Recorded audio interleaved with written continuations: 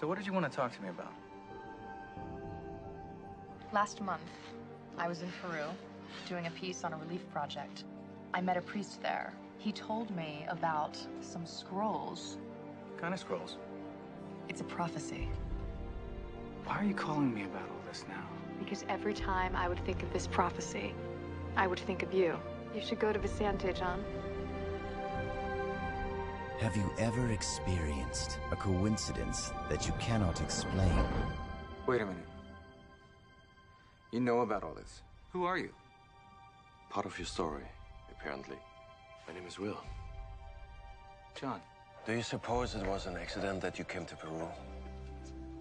Why did I see you from my window when I did? Ever feel as though your life was about something more? So what are you telling me? That this is some kind of a fate thing that I'm supposed to go with you? There are journeys that can take a person across continents. My God. What is this place? Celestine Ruins. What's that over there? The mission. But sometimes, I know you. You're here to do something important. the greatest journey Will told me I had to open up, whatever that means. is the one we take within ourselves. I uh, felt a kind of completeness.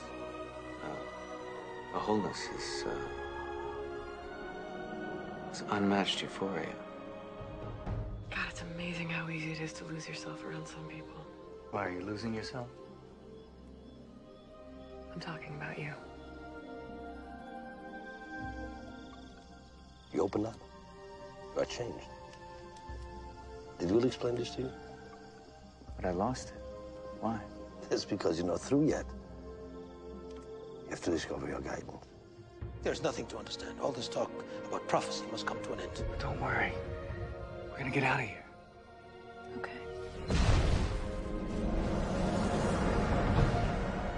Energy surrounds us.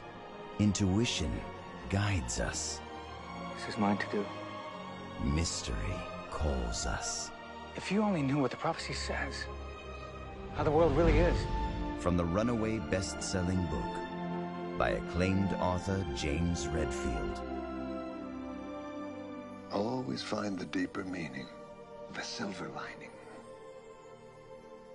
That's what keeps you in the flow. The Celestine Prophecy. Coming spring 2006.